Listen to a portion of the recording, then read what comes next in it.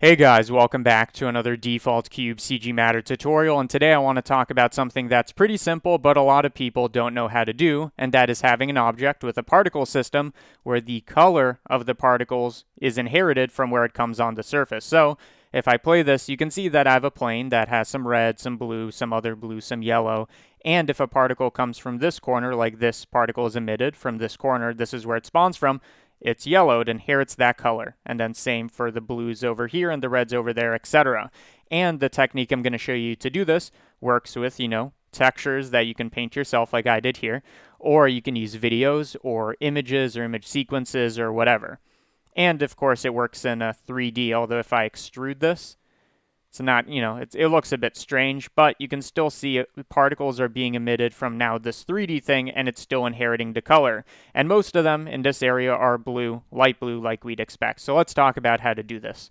So I'm going to start off with a new Blender scene. Yours should look something like this. And for demonstration purposes, I'm going to do the plane thing again because I think it's easier to see what's going on. So add in a plane. Then go to the shading workspace, and this is where we're going to add in an image, and then later we'll talk about how to paint your own texture and everything. But once you have your plane, create a new material, and instead of this BSDF, I'm going to add in an image texture, which we can, you know, connect to the surface. So this is what's going to be on the surface of our plane. And then you can, again, use any image, any video, whatever. So I'm going to be using this one which means that all the particles spawning from here and here are going to be black, and then the rest of them are going to be kind of tan and if it just so happens to come from the eye, it's going to be yellow. This is kind of a scary picture, but uh, whatever. Um, okay, so once we have this, we need to set up our particle system, and this can be whatever you want. We're just going to do something simple, like uh, select your plane, go to the particles, particle tab, create a new particle system, and already we have a very simple particle system. This is just the one I used, but you can add, you know, more to it. So you can add like a force and, uh, I don't know, make it turbulence maybe and we can increase the strength of that turbulence, something like 100. And now you can see it's going crazy. Maybe let's do something a bit weaker so we can follow where it spawns from on the plane. Okay, so now we have a weak turbulence particle system.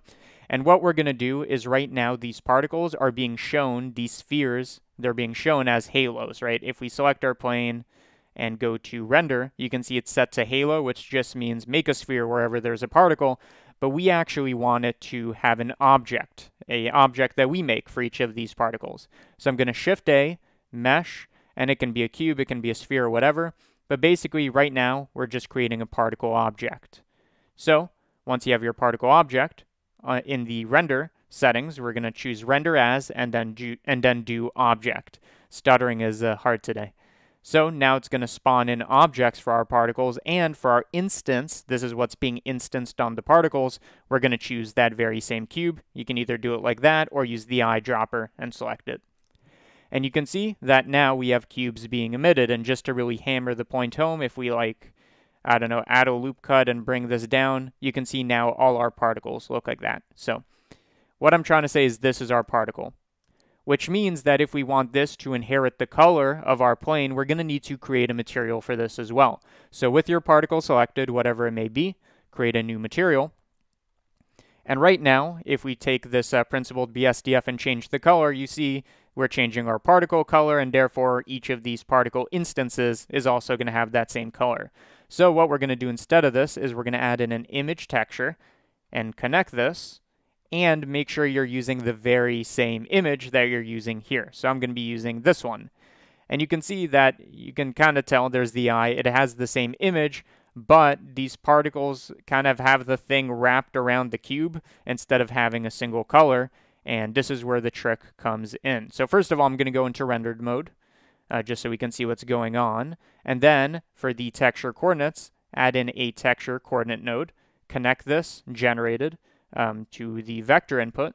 So right now we haven't really changed much. We just have generated coordinates uh, being used to wrap this image on the sphere, which kind of looks a bit trippy. But uh, how do we make this look like it's a single color dependent on where it's coming from? What you have to do is with this setup, you have to enable from instancer. This is the trick. You hit this button, and then it's going to use generated coordinates, but from the instancing object, being this plane. The instancer is what is spawning particles, and the instances are the particles. But you see this doesn't actually fix anything. and this is where a lot of people probably get confused. This from instancer option, at least for now, is a cycles only feature. So if you go to the render tab and change over to cycles, you can see that now we get something that works a bit better. And of course, you know, it's not as fast as Eevee, but you can choose GPU and it still works and it's going to be faster. Okay, so now let's actually verify that it's working. So let's uh, go a couple frames in and spawn some particles.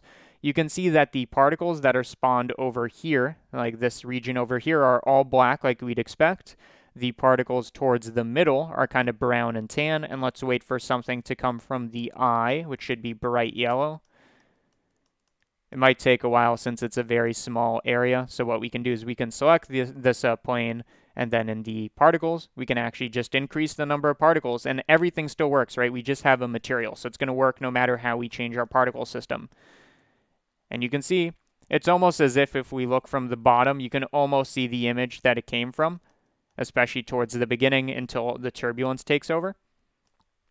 And that's that's a very important point. And the point I'm trying to say is once it inherits a color, it retains that color. So if we do something like add in another force, let's do something like a vortex and put it over here. So they're attracted over there. Let's see if that's strong enough. You see they're kind of being pulled. We can make that even a bit stronger, like 5.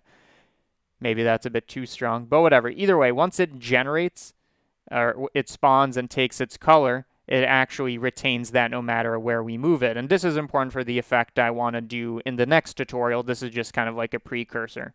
So again, what did we do? We took a object with some texture. This could be a video as well.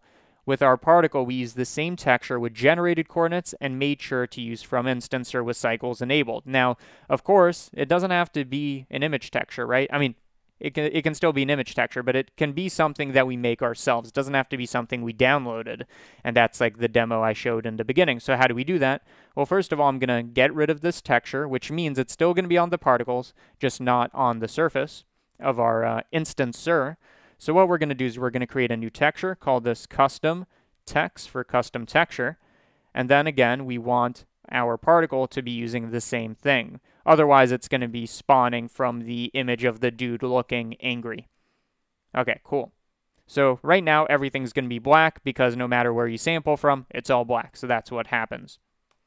So what we're going to do is now that we have our texture, we are going to go to texture paint with our instancer selected, which is going to put us in paint mode, which we can, you know, use to paint and everything. And notice that when we start painting, it also paints on our cube because again, it's using the same texture, but here it's generated coordinates and we, we don't care about that. So what we're going to do is we're just going to select a color. So something like red, paint a good portion like that over here, then a bit of blue, a bit of purplish, a bit of yellow. Cool, we created a texture. And once you're happy with that, I'll go back to layout, go to rendered mode, which again should be in cycles for this to work. And now you can see let me actually get rid of this vortex. It's making things a bit hard to see. Hmm, I guess uh, it needed a second to update, or it's uh, using a cache. You see how it's still like acting like there's a vortex there. Uh, to fix that, you go to Particles, Cache, and we can uh, delete all bakes. Does that work? No. This shows how little I know about particle systems. I do know about materials, so there you go. So now we fixed it. And you can see that these particles over here are red, uh, the particles over here are yellow. There's some that have a bit of a mixture, like these orange ones is where red and yellow meet, and the two colors are kind of overlapping, creating an orange, and etc. Cool. And the nice thing about this setup is whenever you want, it's a very quick uh, updating process. So if we want a different image, I'm just going to choose, I don't know, this hardwood floor, and then go over to our uh, particle and update that to the same texture. And now we are spawning from a wooden thing.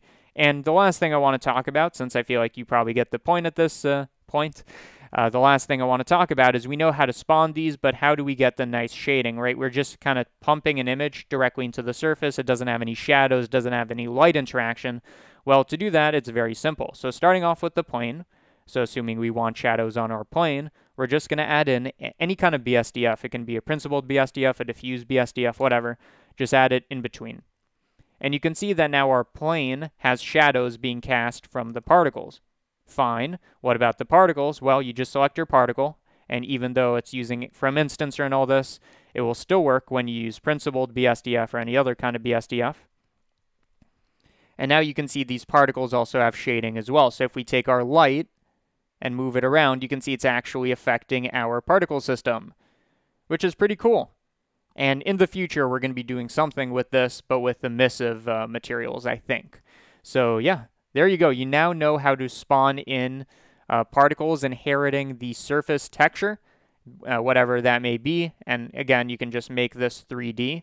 So in this case, it's just going to kind of look brown all over. And again, since the particles are baked in, you're going to need to clear the cache. We're going to need to delete bake, bake again, wait for that to finish, and now they're spawning everywhere, inheriting the color. And one one final time, I'll just say this one more time. You can always change, always change at any point. Here, the CG Geek logo is what we'll be using. And um, maybe that's not what we want to use. It's mostly white. Let's use, and he didn't pay for advertising. Let's use this dog photo, which which has a lot of colors, which will make it look interesting, and then update the particle as well. And now we have a very multicolored spawning situation. So there you go. Hopefully you understood it. I tried to explain it the best I can. And if you want to support these tutorials and keep me making tutorials for free in a very sustainable way, please do check out my Patreon. Every donation helps. And I say donation because it's kind of a donation, but you also get some access to some Patreon exclusive tutorials, Discord access, some uh, early access to some stuff. So if that's something you're interested in and want to help me out, Patreon is the best way to do that. But other than that, I hope you enjoyed this free tutorial. And yeah, that's everything I have for you guys.